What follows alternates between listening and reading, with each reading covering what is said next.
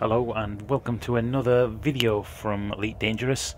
And yes I'm a total noob. And before we actually jump in just look at that spacecraft. That's actually another player coming out of this space station. Very cool indeed very cool indeed.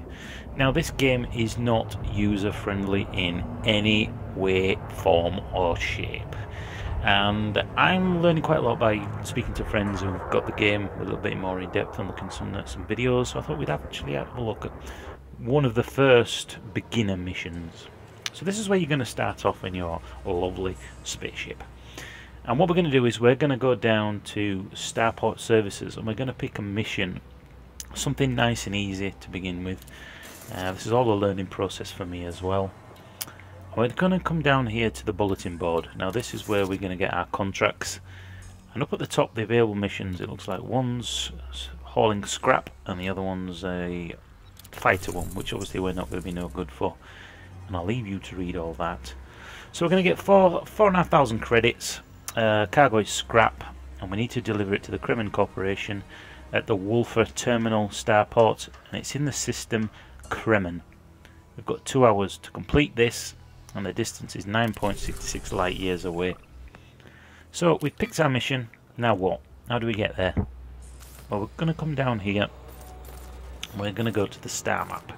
This is how we find our terminal um, and how we actually navigate there. So here we are. This is us, the little blue triangle. Not sure why some are green and blue. Again, that might be for another video. So we're going to be looking for the Kremen. There it is. And as you can see, oh, if I zoom back out again, it's got the little yellow orb around it, which means this is a place that we need to go to complete this mission. I'm actually playing with a 360 pad, so actually trying to go up and down within this map, I can't actually work out the button. Um, no, not good. Can't actually select it. So there is a e easier way to actually get this if you can't actually find it, the place to go within this uh, system. And I'm going to show you how to do that now, because by the looks of it, it's not actually possible to get it this way. Ignore these red lines, I'll explain those in another video. Right, I'm going to go up to the here, up to the navigation, and I'm actually going to type it into where it says enter system name. I'm going to type it in there, and it should, fingers crossed,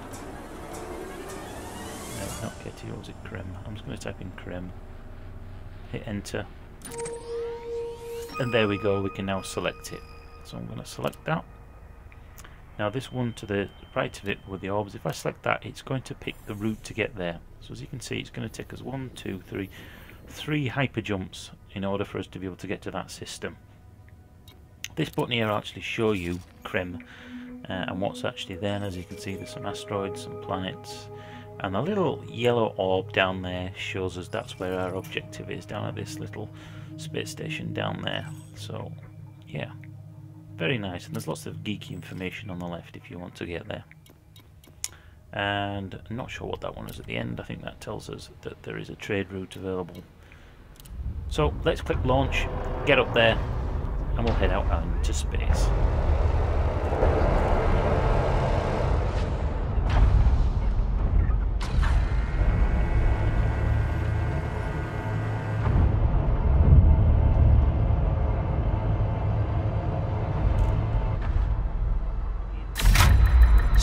Released. Engines engaged. Landing gear retracted. The game really will play a lot better if you've got a joystick. There are things such as rolling on its own axis, left and right, as on the ship there. coming in. Um, yeah, it really is difficult because there's so many buttons in the game that the 360 pad, as you can see, I'm just about doing this here but being able to rotate sort of horizontally is a real benefit when you're coming into land and certain places and it's quite difficult coming into the starport when you um, with only the 360 pad so it really is advisable. Now if you look down at the bottom right it says mass locked which means that we're under the gravitational pull of that space uh, of the starport that we've just left.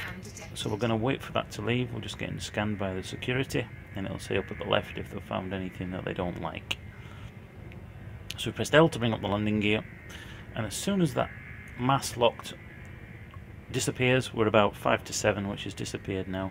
So we can go into our hyper jump, and as you can see, down at the bottom, right, let's look at this message up here. Yep, we're all good. So just waiting for the hyperdrive to speed up, charge up, and then we'll blast off at light speed. Down there near the main radar, you can see there's a little blue circle pulsing.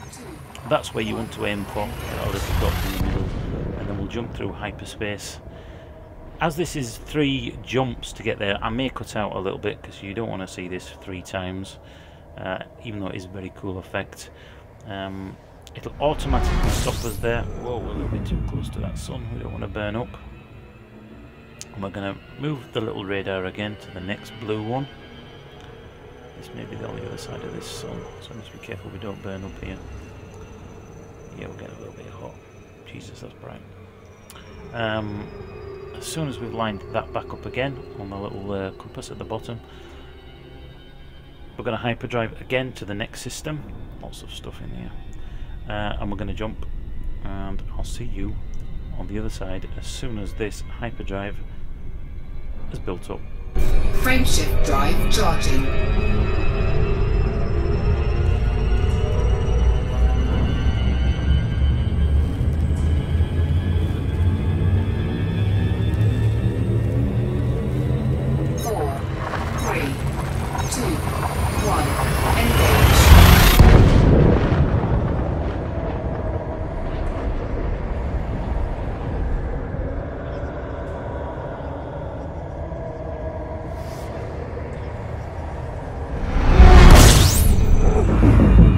And there we go. I've actually cut a chunk out there because there was a couple of other jumps. Now as we're approaching, I'm still at uh, hyperspeed, blasting towards this, and you can see the countdown in light years getting there, and the time underneath. And if you look at the bottom left, where it says alignment, we have a distance bar and a speed bar. We really want to get those two lines to be together in the blue zones, so you can see my speed needs to come down a little bit, so that when we get there, we've actually slow enough to jump out of hyperspeed without flying straight past or straight into what we're aiming for. So I'm just going to slow my speed down a little bit as we just aim for this. We don't need to spin, I'm just doing it for interest, otherwise it's just a bloody straight line getting all the way there. And we're just going... This is going to slow down eventually. As you can see over to the top left, there's obviously a planet and those rings are objects that are rotating around its axis. See we're getting closer and closer now. A couple of what's this little asteroids flying around? I don't know whether you can actually lock into those and get minerals later on. There's lots of stuff. Every single star you can see here now is not a flat object. It is actually a generated object that we can go to and visit. All the full Milky Way, the full solar system, everything's in here, including Challenger. I've been told you can go see Challenger and its satellites. So we're almost close now. Those bars, as soon as that top bar goes down for the distance, I'm going to press J to jump out of hyperspeed. There we go. So it's safe for me to jump out now of, the light speed. Oh, there we go. There's our objective. Just take a little bit to get your head round. I've been playing this for a couple of days now, and you do pick it up. But if it wasn't for my friends helping me, I really would be struggling with this. So there, there's the terminal that we need to land at. So I'm going to come down here contacts. I'm going to lock it contacts again. I'm going to request docking. Now, yep. So we'll proceed to land at pad 12, and we have a time limit to actually land there. If we loiter around here or we got stolen goods, then there's a different method for getting into some of these, but I may do that in another video. But for now, there's a planet over there with rings, which you could go do mining later on, as you get better craft and better equipment for your ship. And we're just going to come in here.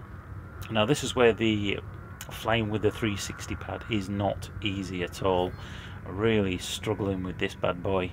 Um, the ability for a joystick is so much easier because I'm having to use the bumpers for speed. You can't sort of blip it up or down. I have to go all the way down and then all the way back up again. So I'm just going to ease my way in here. The little speed bar is the little uh, row of bars on the right hand side in front of the circle in front of me. And if, if I put the speed down, obviously I'll slow down. But if I keep it in the blue area, it means I've got the full maneuverability. I can move around a lot easier.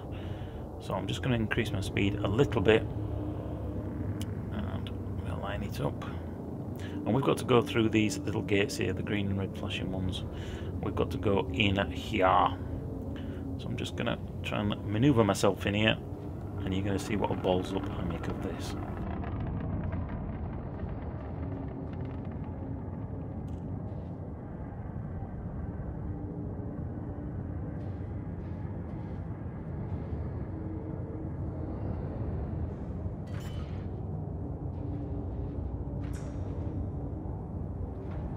Landing gear deployed. Another player there just showing me how it's done. Straight in, no bother. Flipping heck. Now, according to friends and developers, there will be uh, different interiors for different areas, such as uh, starships and starports. They're not all going to look the same like this, and I'm just made a fucking balls of this. I think I put my landing gear down too soon, and I caught it on those bars. So we'll go back round. Yes, and there also will be the ability to land on planets and get out, uh, have a look around your craft, uh, and even the possibility to fly with other people, aka Star Citizen. Now, Star Citizen really does look the tits, but whether they can deliver it in 2015 when they said they would is another thing.